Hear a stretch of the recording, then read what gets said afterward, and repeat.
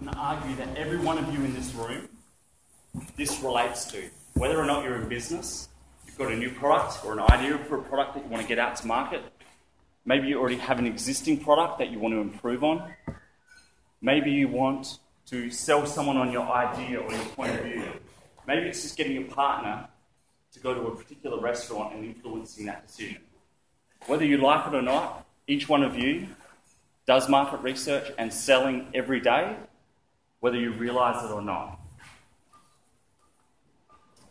If you're able to do effective market research, you'll be able to do all of these things. You'll be able to work out what your customers' problems are, what features and benefits you should be offering to them, and what really speaks to them, any concerns they have, the precise offer and price that you should be giving someone,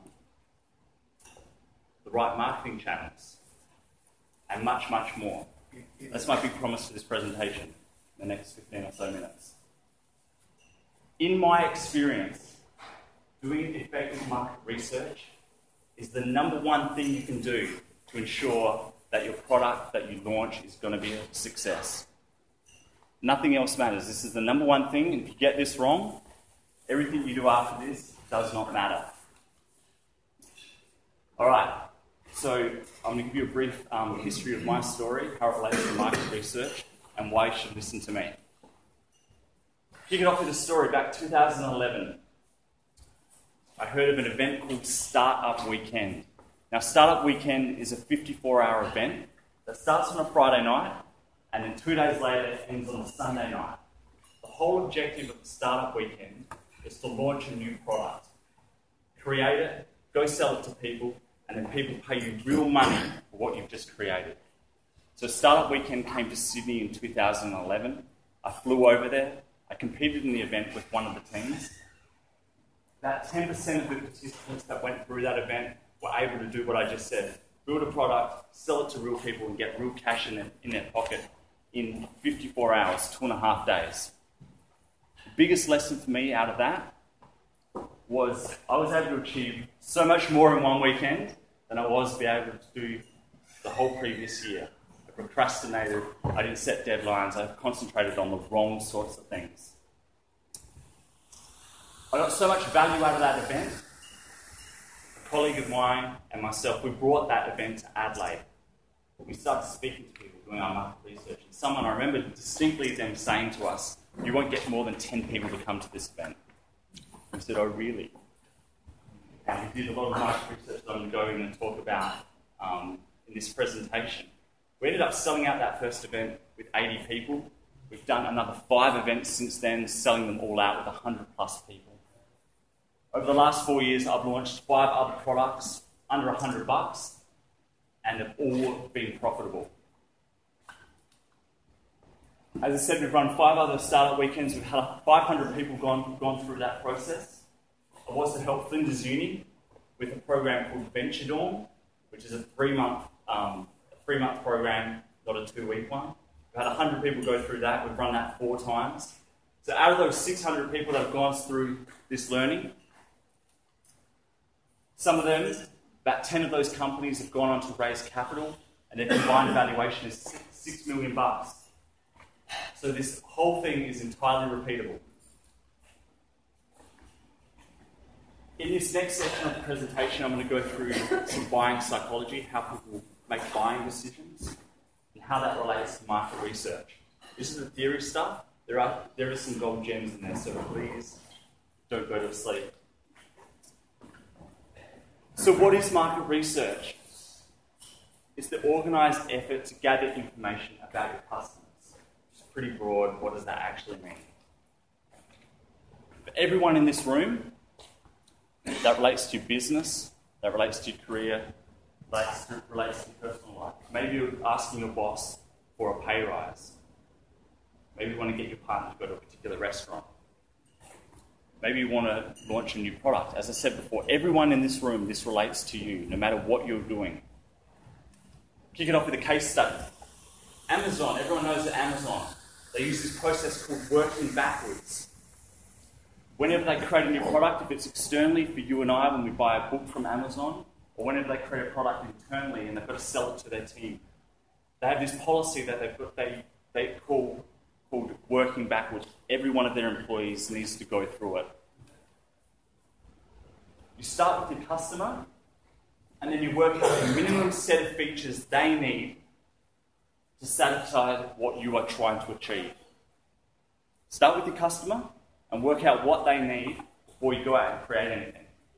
Practically, what this means for them, they write the press release, whether or not it gets published, they write the frequently asked questions, and then they write the user manual. All well and truly before they start any product creation, whether it's external or they need to win over someone in their team. Very important, and I want you to um, take this into consideration with everything else that I talk about. When you're doing a sales presentation, and let's not just look at sales as strictly selling a product, selling an idea, a point of view, you're selling a pay rise from your boss, whatever it is. Talk about your credentials, talk about your benefits that you're going to offer them. You're going to talk about calls to action. Everything that you do in that conversation when you're selling needs to relate directly back to the market research that you're doing. Does that make sense? This is the most important part of my presentation. If you take nothing else from today, it's this quote, and I'm going to repeat it. Enter into the conversation that your prospect is having in their own mind. Just read it and let it sink in. Enter into the conversation that your prospect is already having in their own mind. What's the internal dialogue, the worldview that they already have? How can you get into that conversation and understand what's going on in their life? Humans, they love this condition called homeostasis. Sounds boring, it's a scientific um, term. It's a condition that remains stable and relatively constant. Homeostasis, it's your comfort zone. Humans are also two times as motivated to move away from pain than they are to go towards pleasure. So if I have a hundred bucks in my pocket, I'm two times more likely to keep it there than give it to someone else. Guy named Abraham Maslow came up with Maslow's, Maslow's hierarchy of needs. You know the big triangle the many layers? All of those bottom layers are about avoiding pain, seeking shelter, seeking food. All of the above layers are about seeking pleasure, self actualization. This is what happens when someone goes and purchases something. You, me, everybody here, we all do this. This is the logic that goes behind the scenes. We have a pain or a problem. It means we're no longer in homeostasis. It means we are outside our comfort zone and we'll do anything possible to get back into that comfort zone as fast as we can. We all do it, self included. It also means we're highly motivated to go out and find a solution to get us back into our comfort zone. And we're highly motivated to go talk to people about that. Is good news for you when you're doing market research. People are willing to tell you about what situation that they are in. When you're doing your sales, you should be mirroring the exact phrases that people tell you when you're talking to them about their worldview. Don't tell them something that they don't want to hear, it won't register for them. What you want them to be saying is, yes, whatever you're presenting to me is exactly what I need. They're outside their comfort zone and they want to get back in. Let's go deeper down the rabbit hole. Humans love instant gratification, don't we all? The reason is, and I've been saying it over and over again, we want to get back into their comfort zone when they're out of it. People only see the value that you're presenting them, they never see the opportunity cost. Obviously, the opportunity cost is the alternative path that you're going down. Now, who could blame them? They only see the value that you're presenting them because they're focused on getting back into their comfort zone. They will miss the opportunity cost or any opportunity cost that is involved. All right, MRI scans.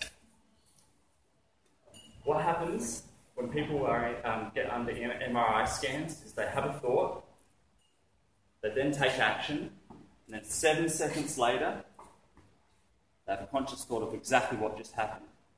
It's never the other way, other way around. some people think you have a conscious thought and then you take action based on it. It's not how it works. It's not how it works for me. It's not how it works for everybody. It's called confabulation. Confabulation is where people create a story and then rationalize what's happened after the fact. Does that make sense?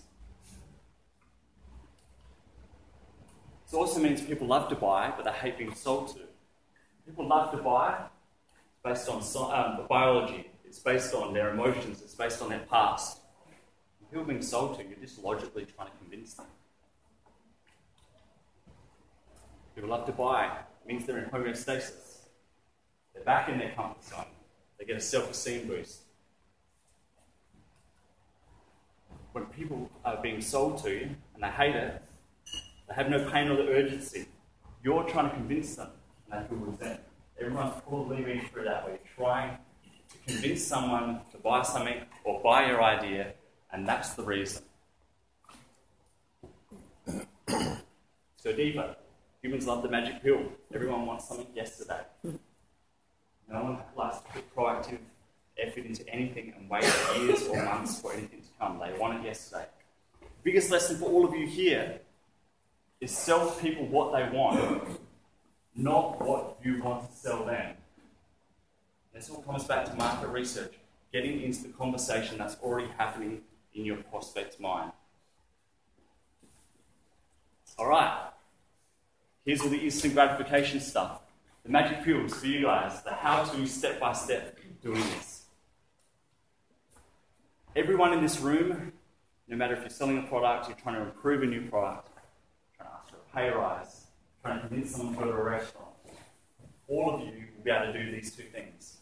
Get a prospect list. If you're in business, you can have a prospect list of hundreds of people. If you're trying to convince your spouse to go to a restaurant, your prospect list is of one. Next step, what you want to do is ask the following six questions. what are their biggest challenges with X? And X is whatever their problem or their the situation they find themselves in and what results are they trying to achieve. Give you a good insight into the benefits that they want. For example, I have a headache and I want to get rid of my headache. So I biggest challenge and what I want to achieve. Have a headache and I want to get rid of it. Super simple example. What's the magic pill? They think, not what you think, they think will achieve this. Give you an idea into the product type. So I have a headache, I want to get rid of it. The magic pill I think will get rid of this is taking a painkiller. Right? If they can solve this immediately, how much would that be worth? Well, I know I can go down to and, um, and buy a Panadol and it's going to cost me four bucks. You come out with a new product that's a painkiller that gets rid of a headache for my problem, probably giving you a price range by speaking to people when they're going to tell you, right? Where and how are they looking to solve this? Give you a really good idea into marketing and sales channels. They're looking for a painkiller. They're going to go down to the chemist to buy, buy something from there. If you're doing Facebook ads or Google ads for painkillers, you're probably using the wrong marketing channel because that's not what they're already using. What are you considering buying already? Give you an idea of the value proposition you need to bring to the table and what their current perceived options are. What will happen if they don't get this solved to give you a good insight into their motivations and their concerns.